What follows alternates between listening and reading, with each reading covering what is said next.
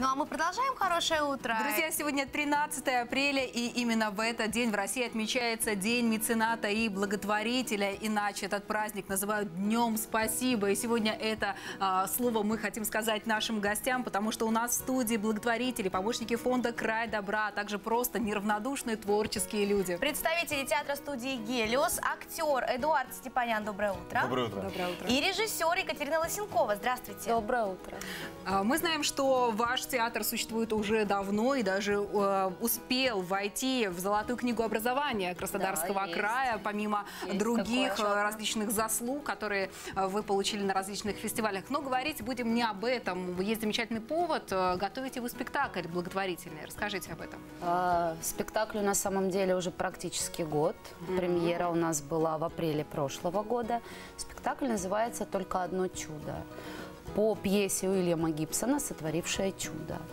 А, Спектакль о э, слепоглухонемой девочке, которая пытается э, жить, пытается как-то узнать о чем-то новом. Но в связи с тем, что она э, потеряла и слух, и зрение еще в глубоком детстве, э, родители, не зная, как с ней общаться, э, конечно, ее разбаловали. Разбаловали очень сильно, она стала требовательной, агрессивной.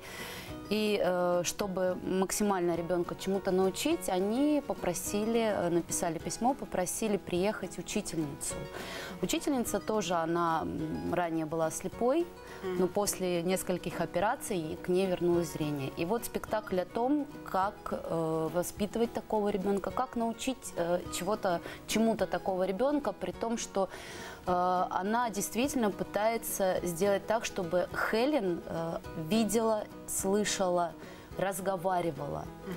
Э, то есть не, не просто как бы там я хочу говорить, а именно все это внутри себя смогла увидеть и ощутить. на самом деле тема. тема сложная, тема глубокая. И э, я так понимаю, что этот спектакль будет не простой показ, будет благотворительный показ. э, то есть все средства, собранные от этого спектакля, а пойдут куда они пойдут? На помощь кому? Эм, Мы хотим, чтобы это было такое масштабное мероприятие, в рамках которого, в рамках э, которого мы сможем показать не только спектакль, а оказать реальную помощь э, при поддержке э, организации «Край добра», которая откликнулась и э, помогла нам в этом. Пог- Помочь деткам, которые, наверное, действительно в этом нуждаются, потому что это же на самом деле очень глубокая и большая проблема, Большая, да. которая, к сожалению, зачастую не всегда разрешима. Вот. И мы хотим помочь э, приобрести деткам какие-то необходимые девайсы, гаджеты, которые помогут, Помогут им им слышать. слышать. Да. И этим спектаклем мы хотим э, Здорово, что этим спектаклем вы, э, во-первых, заставляете зрителя в принципе подумать на эту важную и сложную тему, но не только подумать, но и помочь конкретными действиями. Вам большая вообще честь и хвала за то, что вы делаете такие Мне вещи. интересно, а кому идея-то пришла, чтобы этот спектакль был благотворительным? Режиссеру? Режиссеру. Ну да, появилась такая идея тоже практически после премьеры, когда состоялась премьера, мы еще даже до премьеры мы углубились в материал и поняли, насколько он актуален. Насколько актуален в данное время, потому что очень много особенных детей, которым нужна помощь.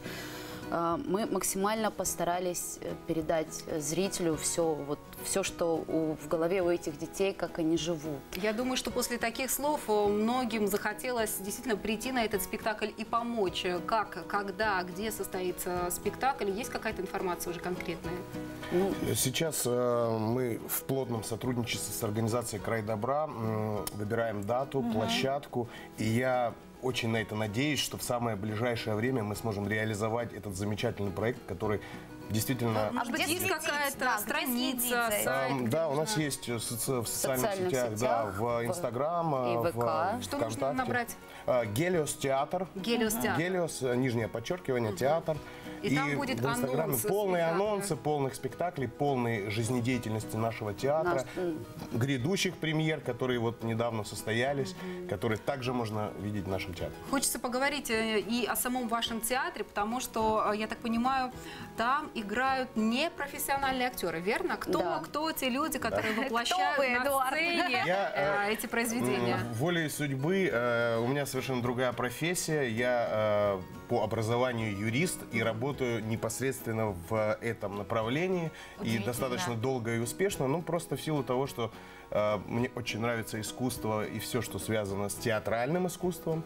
Э, очень долгие годы, а именно с 96 года.